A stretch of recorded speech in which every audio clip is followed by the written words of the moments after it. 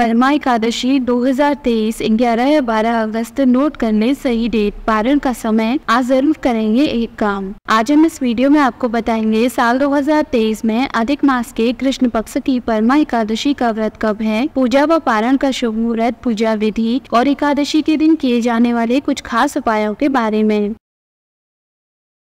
Hello friends, स्वागत है आपका आपके अपने चैनल उपचार नुस्खे में। पंचांग के अनुसार अधिक मास के कृष्ण पक्ष में आने वाली एकादशी को परम, परमा, कमला या पुरुषोत्तमी एकादशी भी कहते हैं। मान्यता है कि इस दिन भगवान विष्णु की पूजा करने से दुर्लभ सिद्धियों की प्राप्ति और दुख दरिद्रता का नाश होता है। शास्त्रों के अनुसार परम एकादशी का व्रत पाँच दिन तक करने का विधान है। आइए जानते हैं, साल दो हज़ार तेईस में श्रावण अधिक मास की परमा एकादशी व्रत की सही तिथि, पूजा का शुभ मुहूर्त, पूजा विधि और इस दिन किए जाने वाले महा उपाय क्या है? परमा एकादशी शुभ मुहूर्त 2023 साल 2023 में परमा एकादशी का व्रत 12 अगस्त शनिवार को रखा जाएगा। एकादशी तिथि प्रारंभ होगी 11 अगस्त प्रातःकाल पाँच बजकर छह मिनट पर। एकादशी तिथि समाप्त होगी 12 अगस्त प्रातःकाल छह बजकर इकतीस मिनट पर। पूजा का शुभ मुहूर्त होगा प्रातःकाल सात बजकर अट्ठाईस मिनट से प्रातःकाल नौ बजकर सात मिनट तक। पारण का शुभ मुहूर्त होगा तेरह अगस्त प्रातःकाल पाँच बजकर उनचास मिनट से आठ बजकर उन्नीस मिनट। परमा एकादशी पूजा विधि। अधिक मास की परम एकादशी के दिन प्रातः स्नान के बाद व्रत का संकल्प लेकर पूजा स्थल पर भगवान विष्णु जी की प्रतिमा स्थापित कर पंचोपचार विधि से पूजा करें। प्रतिमा के सामने शुद्ध घी का दीपक जलाएँ और भगवान विष्णु का तिलक कर उन्हें पीले पुष्प अर्पित करें। इसके बाद अन्य सभी सामग्री अर्पित करें और भोग लगाएँ। भोग में तुलसी के पत्ते ज़रूर डालें। इसके बाद एकादशी व्रत कथा का पाठ या श्रवण कर आरती करें। अगले दिन द्वादशी तिथि पर ब्राह्मणों को भोजन करवाने के बाद व्रत का पालन करना चाहिए। चाहिए। परमा एकादशी उपाय। परमा एकादशी के व्रत में विष्णु सहस्त्र नाम श्री सूक्त